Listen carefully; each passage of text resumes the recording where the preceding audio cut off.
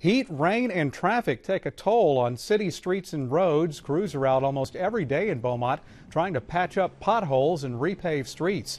The city is responsible for all repairs and the cost of the work.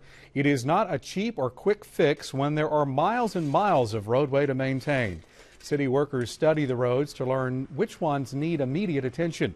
Paving roads is a hot and tiring job in the spring and summer, but your convenience and safety depend on it. City Beaumont does have many challenges out there um, in our in our capital projects or within our capital program. We do have $5 million for the next two years to spend on street rehabilitation. Um, so that's roughly $2.5 million per year that we're spending on our streets. Donart says bids are out now to start the Concord Road project. During the summer, the city is planning to widen the road from East Lucas to the Eastex Freeway, and the city hopes to expand Old Dowlen Road to four lanes.